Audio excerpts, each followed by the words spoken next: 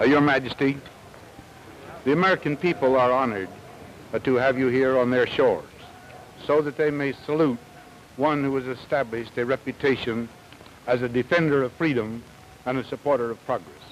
For Mrs. Eisenhower and me, it is a rare privilege to have you as a guest in this house.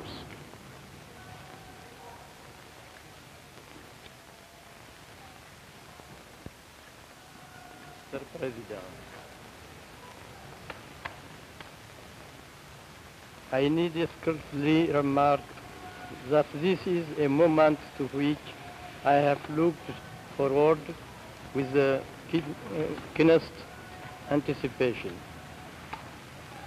For years it has been one of my founded hopes to be able in person to convey to the President and the people of the United States the expression of the profound admiration which and my people have for your great nation. Mr. President, your gracious invitation and that of Mrs.